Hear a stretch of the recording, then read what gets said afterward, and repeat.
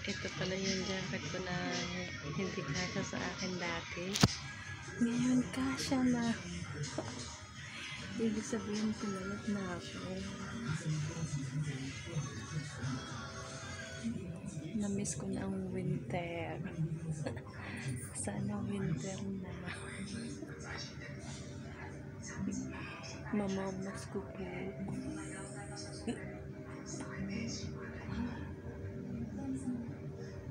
Kasya na siya sa akin.